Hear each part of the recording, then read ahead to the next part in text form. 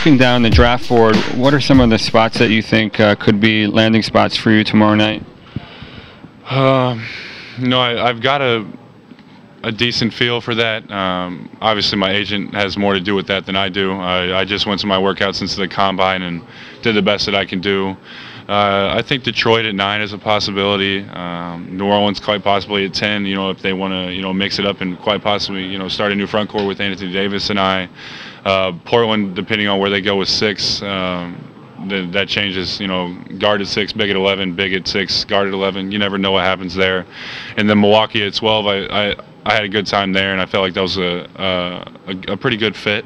Uh, then I, I, did go to Phoenix, and I enjoyed that as well. Uh, at 13, uh, Houston obviously has 14 and 16. They uh, they're making moves right now, but I'm, I'm not really sure. But I've just heard, and then I, I, did go to Dallas at 17, and of course Boston has 21 and 22. So you never know what can happen on draft night. I'm just going to remain positive and keep my fingers crossed. What would you think of Detroit?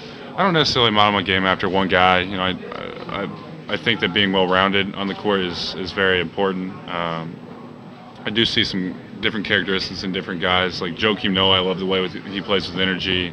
Uh, Tyson Chandler's ability to affect the game in the paint on both ends, catching lobs, blocking shots, and uh, you know, hopefully someday in the future, maybe as, be as uh, skilled as Paul Gasol. Is there any fear or apprehension before you take this next big jump?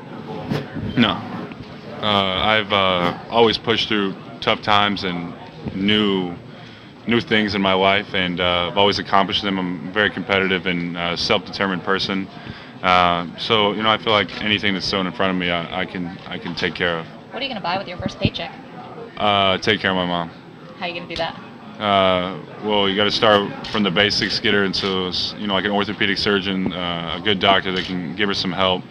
Uh, from there, clearly, I'm gonna have to have somewhere to live, and then uh, we'll see what happens from there. Not any like uh, cars or. Uh, I have a car. I have a car in mind, but uh, that's a secret.